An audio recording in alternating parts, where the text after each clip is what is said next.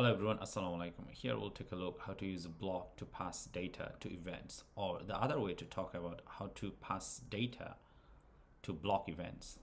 Anyway, so here I have this form as you can see a sign up form. We can submit our email and password. So this is the button. Now as we click on this, this method that's get called. Now you can see that inside this method actually anyway first we are doing a form validation where there is data or not and after that actually we are calling an event. So we know that if you use a BLoC so you could do provider.auth and then your BLoC name and then we can just simply call our add method. Now inside the add method what we do we usually call our events. Now of course if you're using BLoC you know that you have to create events first. So this is what we have done. So this is our event. Now this is the event that I was talking about. Now this event has a two fields, which is email and password. So we pass them to the constructor.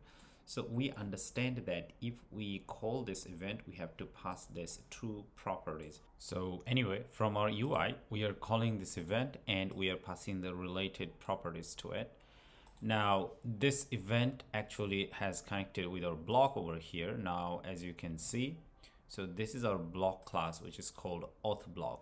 Now let's take a look. So this event name is sign up request. So while inside this we have a lot of events. So one of the events is sign in request. So over here we do see that we have sign up request over here. Now sign up request, well it's an event, the same event as we have in our UI. Now this one, as you can see, it takes two parameters, which is event and emit.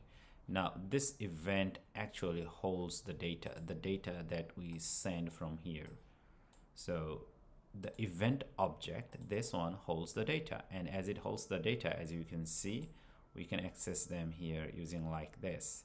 Event.email event.password now which is exactly the one we are sending from here but of course, the naming, you may say, well, now here, I don't have email as we pass from here, right? Because it's not named parameter. It doesn't matter as long as your events has the correct name like email and password in the constructor itself.